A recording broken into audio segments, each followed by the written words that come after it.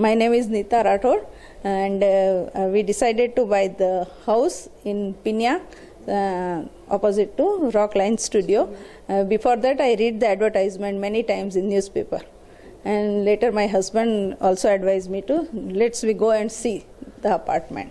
We visited, we met Indu, Uh, yeah, and he explained very well the project and very fast the procedure is also. Within 15 days we decided to buy that apartment. It's uh, our choice uh, what we want almost all uh, 80% of our um, requirements is fulfilled by this project. So we decided to buy that.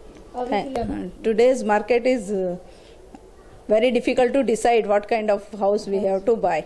But uh, each and every people have their limits of amount. uh, and this is the higher middle class ca- people can also buy this uh, affordable. Uh, so DS-MAX i suggest that that is the good uh, reliable good accommodation for almost uh, all higher level or middle class people. Mm, all the best and good luck for the future construction